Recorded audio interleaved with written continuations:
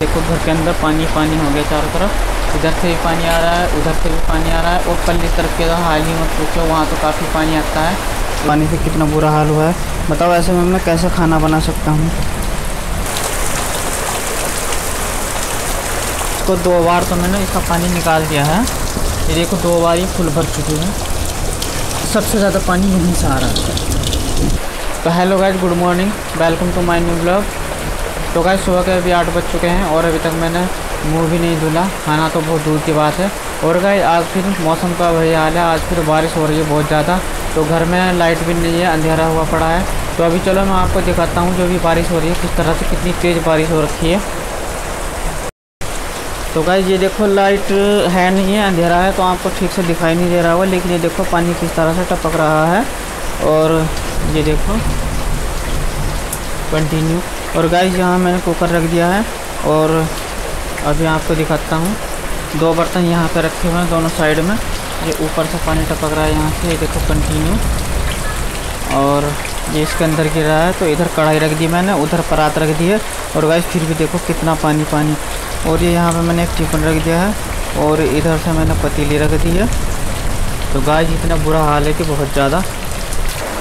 तो गाइज़ हालात इतने ख़राब है ना कि बहुत ज़्यादा आपको तो गाइज़ घर की अगर मैं बात करूँ तो आपको पता है ही घर के टूटे फूटे हालात हैं और ये देखो गाइज़ ऊपर से ही पानी आ रहा है और इधर से भी पानी आ रहा है और एक तो मैं हैंडीकैप्ट हूँ और फिर ऊपर से इतनी ज़्यादा दिक्कत हो रही है। ये देखो घर के अंदर पानी पानी हो गया चारों तरफ़। इधर से भी पानी आ रहा है, उधर से भी पानी आ रहा है और पल्ली तरफ़ के तो हाल ही मत पूछो, वहाँ तो काफ़ी पानी आता है।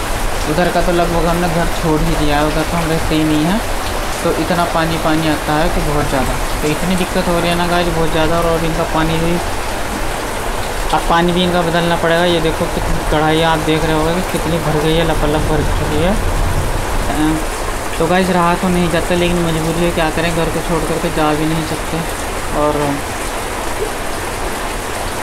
अभी पूरे पूरे बरसात में यही हाल रहने वाला है। आप देखोगे तो ये आपको दिख रहे होंगे दो तीन जगह से।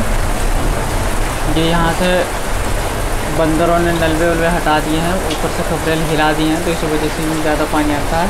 और ये दूसरी कारण इसका ये भी है कि पुराना हो गया बहुत टाइम का तो इस वजह से इसमें पानी आता है। लकड़ियाँ सारी इसकी गल चुकी हैं।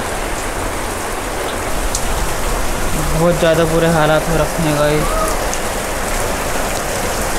और बारिश देखो कितनी तेज़ हो रही है।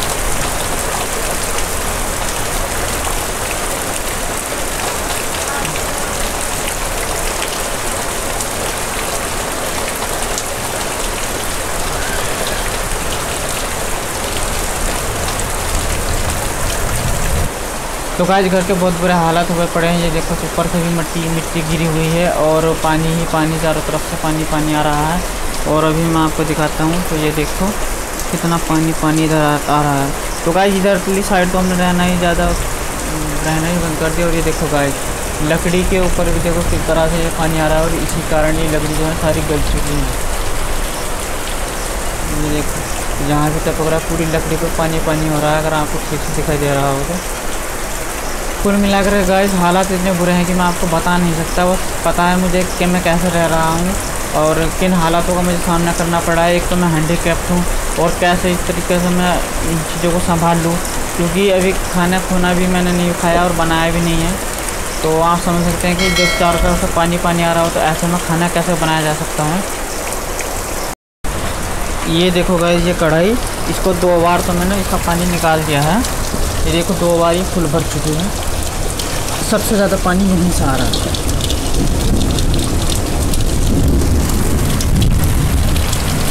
देखो मौसलाधार की तरह। पानी टपक नहीं रहा बिल्कुल सीधा चल जैसे कि नल चल रहा है।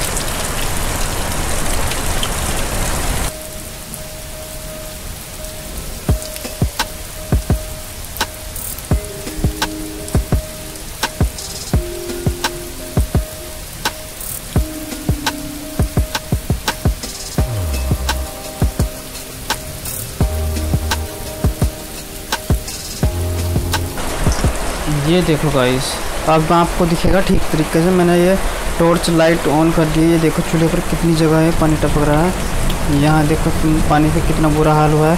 बताओ ऐसे में मैं कैसे खाना बना सकता हूँ? ये देखो गाइस और ये यहाँ से, यहाँ तक ये पानी जा रहा है। और ये देखो कितनी जगह से टपक रहा है। जहाँ तहाँ, जहाँ भी नज़र जाएगी, वहाँ वहाँ पानी पानी। सब में पानी पानी। और मैं भी ऊपर जा रहा हूँ, आपको दिखा देता हूँ। देखो भाई। ये देखो पानी। ये देखो भाई। तो ये देखो, ये आप देख ही रहे होंगे, ये देखो कितना पानी टपक रहा है ऊपर से। छत का ये हाल मैं आपको दिखा रहा हूँ। ये देखो, इधर भी देखो।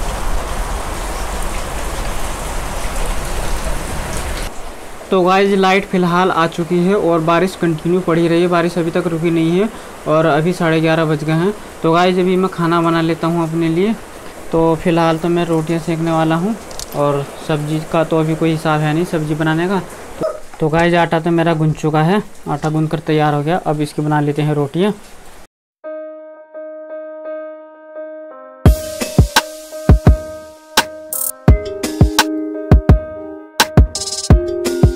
तो गाइज़ मौसम तो फ़िलहाल साफ़ हो चुका है, बारिश बंद हो गई है, और अभी मैं आपको बारिश का मौसम दिखाता हूँ कि किस तरह का हो रखा है। तो गाइज़ उससे पहले आपको भी मैं ये दिखाता हूँ। तो गाइज़ ये देखो, ये कुकर रखा हुआ है, ये भर गया था, और ये गिलास। गाइज़ इस कुकर के अंदर एक कुकर तो मैंने वापस पलट दिया था, एक कुकर पानी तो मैंने वापस पलट दिया था, और ये गिलास रख दिया था, यहाँ दो बर्तन हो गए, और इधर दो बर्तन ये रखे हुए हैं, और दो बर्तन वो रखे हुए हैं छः बर्तन टोटल हुए हैं। तो चलो ये दिखाता हूँ मैं गाइस ये देखो आपको।